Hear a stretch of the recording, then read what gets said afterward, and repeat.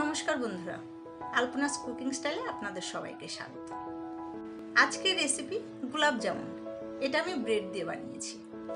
আপনারা হয়তো ভাবছেন ব্রেডের গোলাপ জামুন কেমন হবে, কিন্তু একদমই দোকানের মতন টেস্ট আর বেশ নরম হয় খেতে। সামনে নবরাত্রি আসছে, বাসন্তী পুজো, পয়লা বৈশাখ যে কোনো সময় এটা আপনারা বানিয়ে নিতে পারেন। খুব সোজা রেসিপি সাথে থাকো শুরু করছি।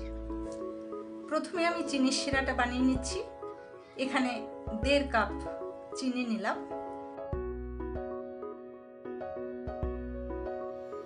আর ওই কাপেরই পনে এক কাপ জল দিয়ে দিলাম।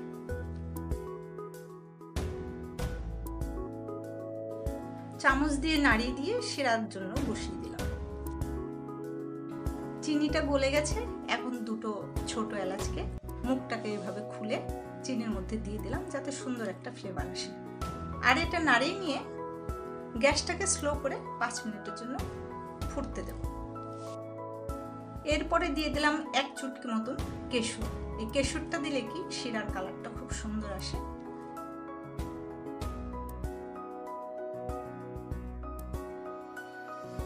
এখন শিরাটাকে একটু হাতে নিয়ে চেক করে দেখছি। দেখুন চিপচিপা মতন ভাব হয়েছে, এরকম হলে কিন্তু শিরাটা রেডি এটা কিন্তু একটু ঠান্ডা হয়ে গেলে আর একটু ঘন হয়ে যাবে। এখন গ্যাস অফ করে ঢাকা দিয়ে একটা সাইডে রেখে দেব। এখানে ছয় পিস ব্রেড নিয়েছি। এখন একটা চাকু দিয়ে ব্রেডের এই কিনারাগুলোকে কেটে নেব।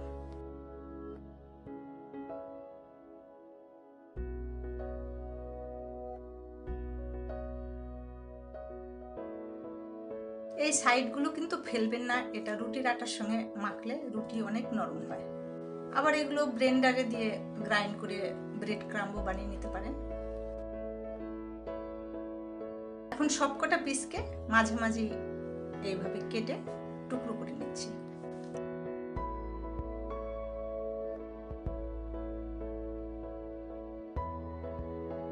এটা গ্রাইন্ডারে দিয়ে দিলাম। দেখুন কি সুন্দর ঝরঝরে আর ফাইন দানাদার হয়েছে। ব্রেডকে এভাবে গ্রাইন্ড করে নিলে কিন্তু সেই গোলাপ জামুনটা খুব সফট হয়। এগুলো একটা বাটিতে ঢেলে নিচ্ছি।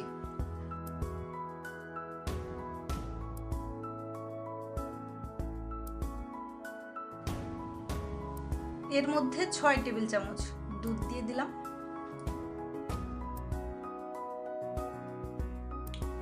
আর এটাকে মেখে একটা নরম ড তৈরি করব।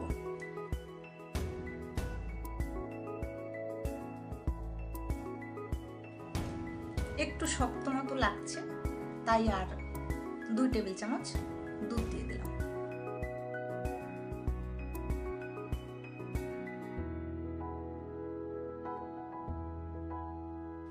ভালো করে মেখে নিয়ে স্মুথ করে নেব। ডটা রেডি এটাকে কিন্তু রেখে দেওয়ার দরকার নেই। এখন এই ডট থেকে পছন্দ মতো সাইজের গোল গোল বল বানিয়ে নেব।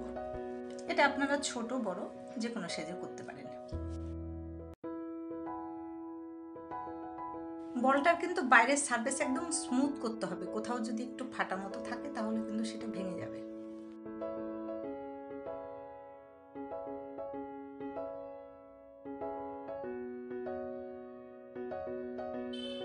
এইভাবে একটা একটা করে সব বলগুলো বানিয়ে নিলাম এখন কড়াইতে ভাজার জন্য বেশ খানিকটা রিফাইন তেল দিয়ে দিলাম। তেলটা গরম হয়েছে কিনা চেক করার জন্য ছোট্ট একটা ড দিয়ে দিলাম।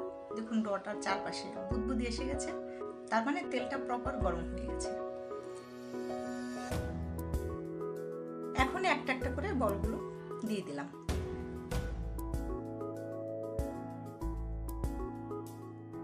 গ্যাসের ফ্লেমটা কিন্তু মিডিয়ামে রাখতে হবে। বেশি হাই করলে তাড়াতাড়ি লাল হয়ে যাবে আর ভেতরে কাঁচা থেকে যাবে।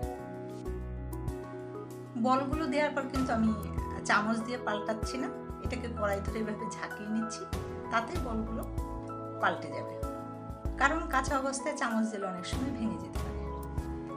একটু কালার চেঞ্জ হওয়ার পরে কিন্তু কন্টিনিউ নাড়তে হবে না হলে চারদিকে সমানভাবে কালার আসবে না।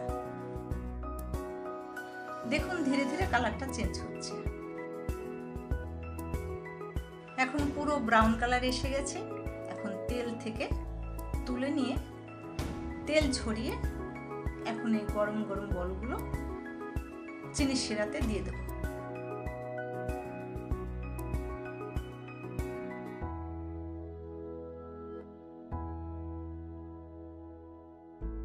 আর চামচ দিয়ে শিরাটা উপর দিয়ে দিয়ে দেবো, যাতে সব দিকে শিরাটা ঢোকে। আর ঢাকা দিয়ে দেড় থেকে দু ঘণ্টার জন্য রেখে দেব। দেখুন দু ঘণ্টা পরে গোলাপ জামুনগুলো একটু বেশ বড় বড় হয়ে গেছে, আর এর মধ্যে সুন্দর রস ঢুকেছে। আপনার এখন এটা ফ্রিজে রেখে ঠান্ডা করে সার্ভ করতে পারেন। এই গোলাপ জামুনের রেসিপিটা ভালো লাগলে কিন্তু চ্যানেলকে সাবস্ক্রাইব করবেন, লাইক, শেয়ার করবেন। এই পুজোর সময়টা আপনাদের খুব ভালো কাটুক। আজ এইটুকু আবার দেখা বাই